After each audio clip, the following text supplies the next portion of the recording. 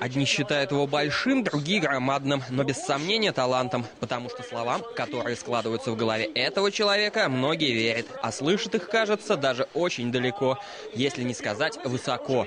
Дмитрий Быков по приезду в Самару неожиданно вспоминает, он и сам здесь был когда-то на высоте, вовсе не писательского таланта. Я люблю ваш город, меня с ним много связывает приятных, молодых, не очень приличных воспоминаний. Дмитрий Быков – персонаж многогранный, писатель, поэт, журналист. Кроме того, он автор нашумевшего проекта «Гражданин-поэт», где стихи Быкова на злобу дня читает Михаил Ефремов.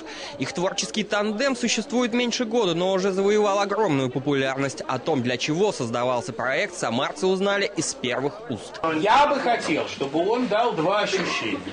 Во-первых, все не страшно, скорее весело.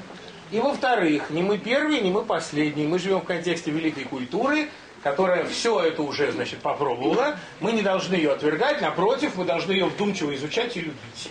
А еще гость рассказал о своих знакомствах с другими писателями. Оказалось, они опознают друг друга не хуже рыбаков. Я дружу-то со страшным количеством писателей. Все писатели дружат. Это графоманы не дружат.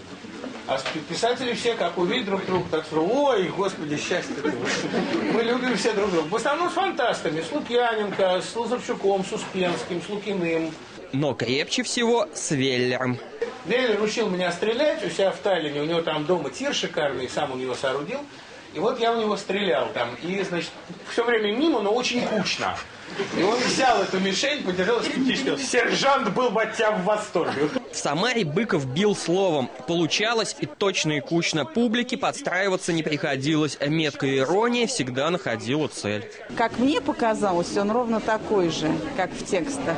А, диалог, а, манера разговаривать, стилистика, а, доброжелательные ответы на вопросы, пронизанные иронией и сарказмом. Все очень интересно было услышать.